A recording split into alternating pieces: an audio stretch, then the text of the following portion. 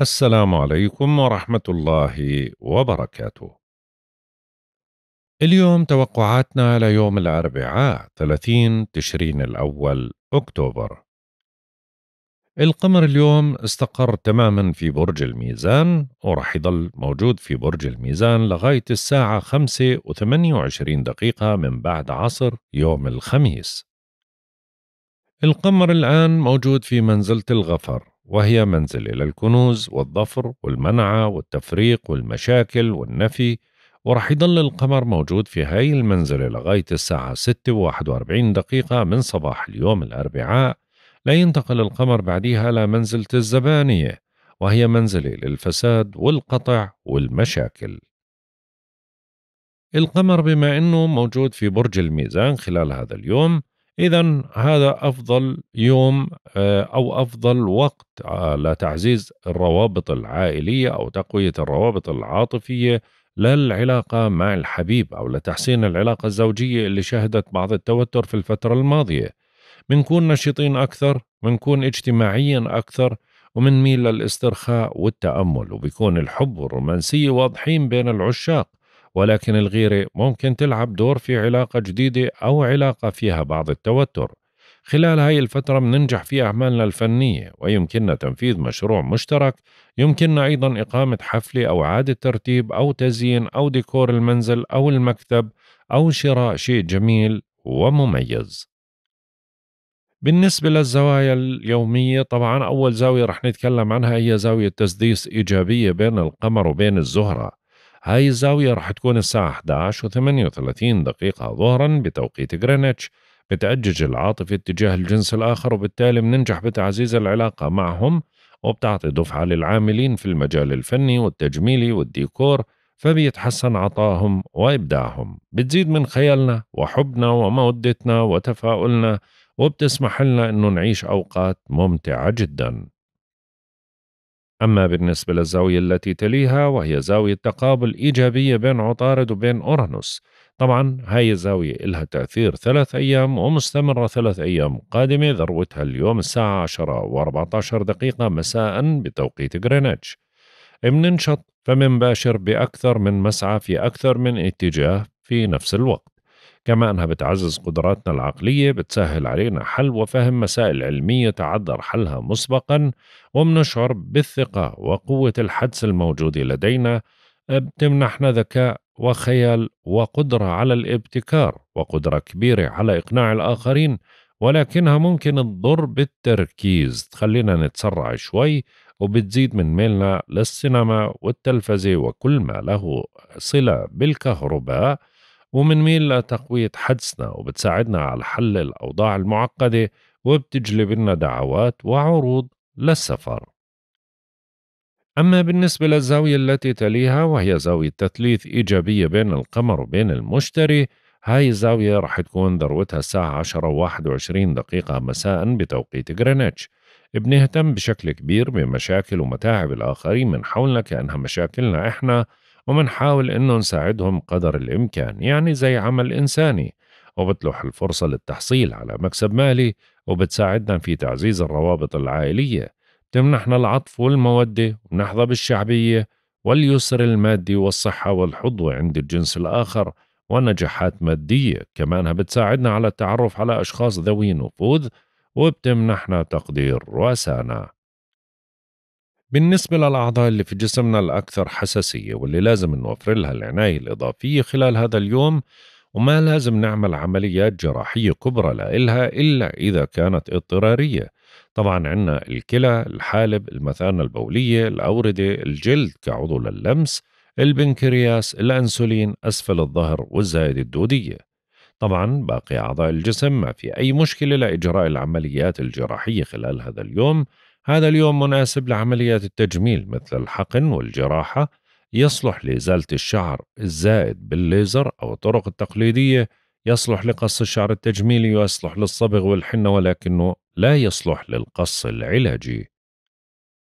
القمر بما أنه استقر في برج الميزان خلو المسار القادم بيكون يوم الخميس بيبدأ الساعة 4 و56 دقيقة بعد العصر بتوقيت غرينتش. وبينتهي الساعة 5 و28 دقيقة بعد العصر بتوقيت غرينتش. أما بالنسبة لعمر القمر عمر القمر انحسار الهلال لأن عمره 27 يوم في تمام الساعة واحدة واثنين وخمسين دقيقة. فجرا بتوقيت غرينتش بنبدأ باليوم الثمانية وعشرين نسبة الإضاءة.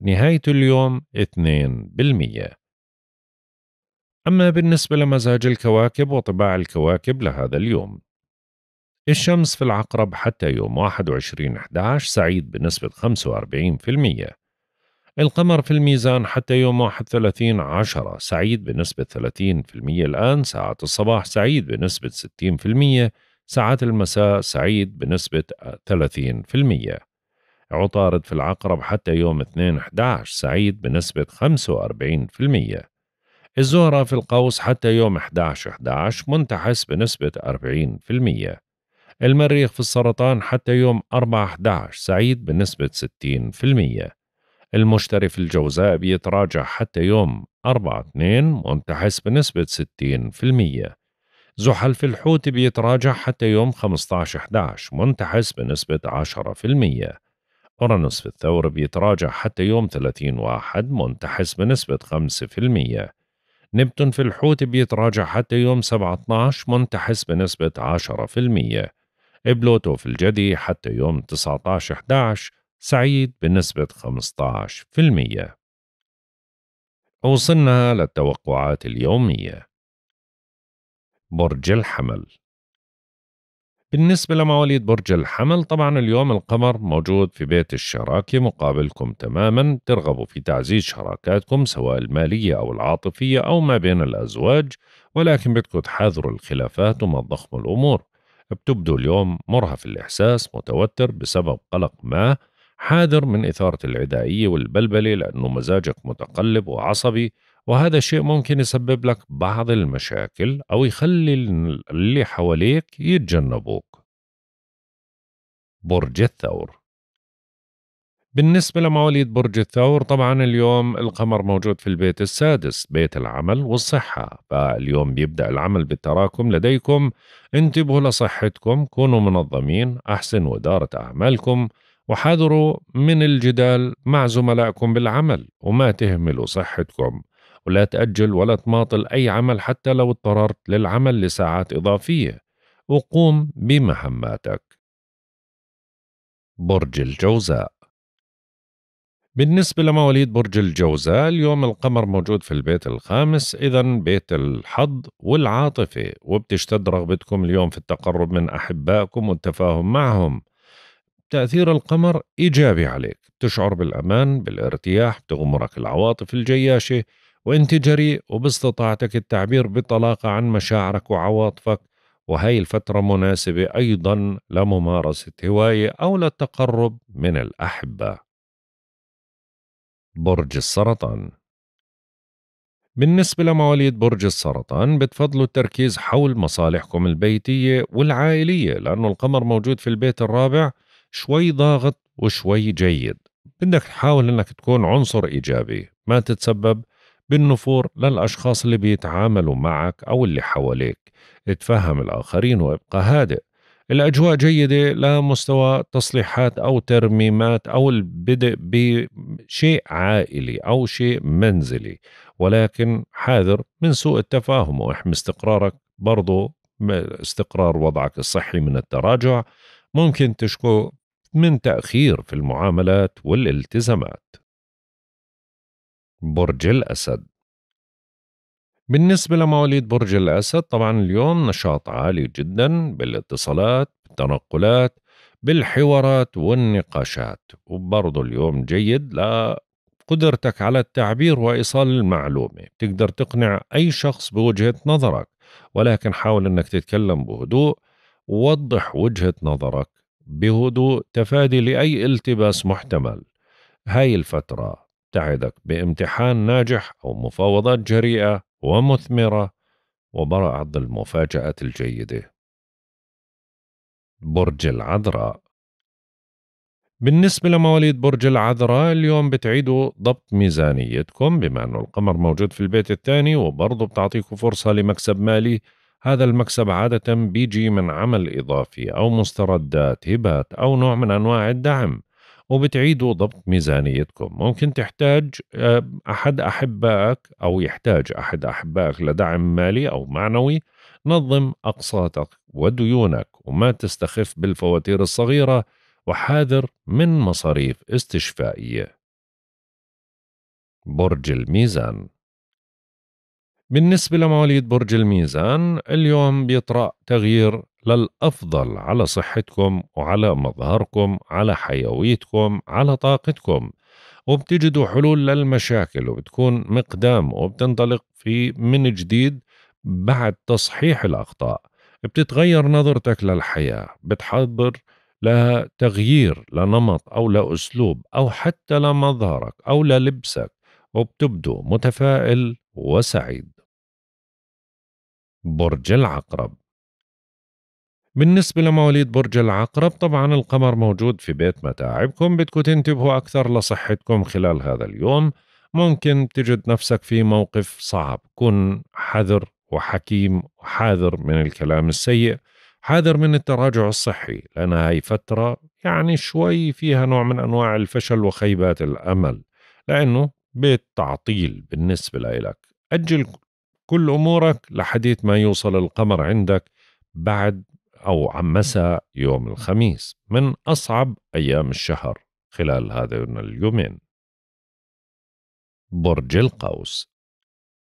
بالنسبة لمواليد برج القوس واليوم بتلتقوا الأصدقاء. اليوم نشاط اجتماعي عالي جدا عندك ممكن يتوجه لك دعوة لحضور حفلة أو مناسبة أو تتلقى عرض أو تجد نفسك في موقع مهم. كون عند حسن الظن اتجنب الانفعال والقرارات المرتجلة والتصرفات العدائية وحاذر من الحوادث. وحاول تستغل هذا اليوم لإنجاز كل الأعمال الضرورية والمهمة لأنه في الأيام القادمة القمر رح يوصل لبيت متعبك برج الجدي. بالنسبة لمواليد برج الجدي بتنجحوا اليوم في المحافظة على سمعتكم ومصالحكم الاجتماعية. وبتفرحوا لانفراج ملموس ترتفع فرص النجاح تشتد عزيمتكم وممكن تقوموا بخطوة مباركة. هذا اليوم جيد للي بيبحثوا عن عمل أو بدهم يقدموا طلبات للعمل. أيضا اليوم ممكن تتلقى إشارة إيجابية وهي فترة مناسبة لالتقاط أنفاسك بعد الأيام اللي كانت شوي ضاغطة عليك. برج الدلو بالنسبة لمواليد برج الدلو طبعا اليوم نشاط عالي جدا كان في أوراق أو معاملات سفر أو سفر حتى للبعض اتصالات بعيدة أو نقاشات مع أجانب أو حوارات وأيضا جيد للامتحانات الجامعية والتواصل مع الحبيب.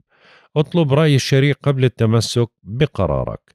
ممكن اليوم تنشغل ببعض المسائل المالية. أو بعض المسائل الصحية ولكن إجمالا الأجواء جيدة وداعمة لك بالحوار والنقاش وحتى بالغراميات. برج الحوت. بالنسبة لمواليد برج الحوت اليوم تركيز على الأموال المشتركة. اللي هو المال اللي معك شريك فيه بنك ضريبة تأمين زوج زوجة ميراث أشياء من هذا القبيل. فممكن تنهم كل يوم في إعادة تنظيم أموركم المالية ولكن حاذروا من توجيه أي كلام جارح أو نابي بغير محله لأيا كان. برضو اليوم ما في بعض المسائل الصحية أو العائلية وباستطاعتك بحث موضوع قرض أو تمويل. أهم شيء إنك ما تهمل التفاصيل الدقيقة. هيك بنكون انتهينا من توقعاتنا لهذا اليوم. والله أعلم. يا رضا الله ورضا الوالدين سبحانك اللهم وبحمدك أشهد أن لا إله إلا أنت أستغفرك وأتوب إليك. أترككم في رعاية الله وحفظه. إلى اللقاء.